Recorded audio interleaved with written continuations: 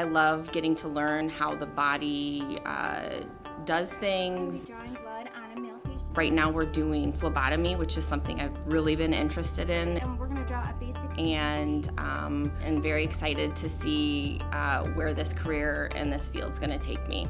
So here at Gateway, we have three locations. We have the Kenosha, Racine, and Elkhorn campus for the medical assistant program.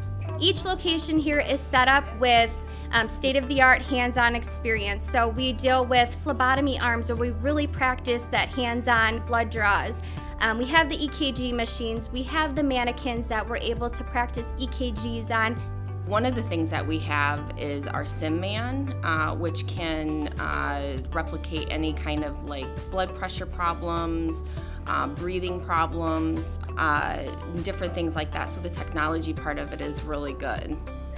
All of those hands-on skills really prepare the students um, for the workforce when they graduate from Gateway. So once we are done with them, then we send them off to their clinical placements and they really utilize and put those skills forth, put forth that they used in the classroom to really get them prepared um, for on-the-job training and then hopefully land a career out of their clinical placements. I'm looking forward to clinicals because I think that's my stepping stone.